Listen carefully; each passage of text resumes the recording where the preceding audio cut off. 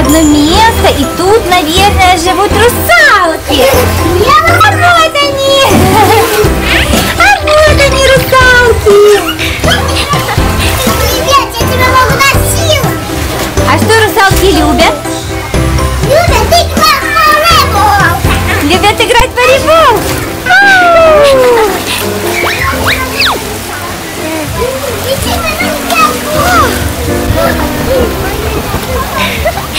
Ну давай еще с какой-то другой горки, доча. Ну давай, только очень аккуратно. Мы забыли тапочки твои, чтобы не скользили.